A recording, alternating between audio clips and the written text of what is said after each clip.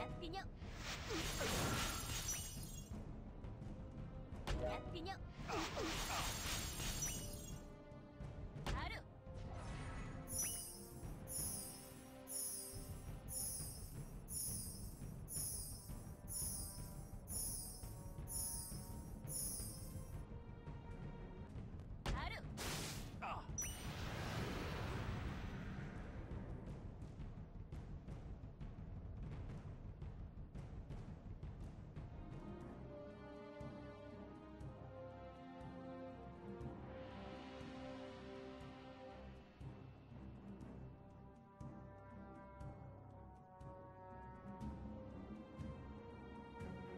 유병준 선수의 모습이죠. 유병준 선수 우주방어 테란.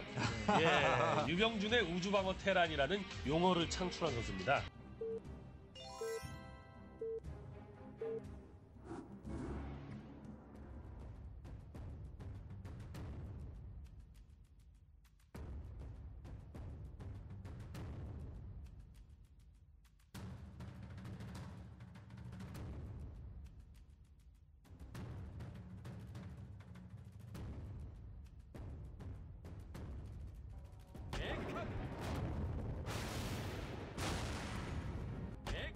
Ah!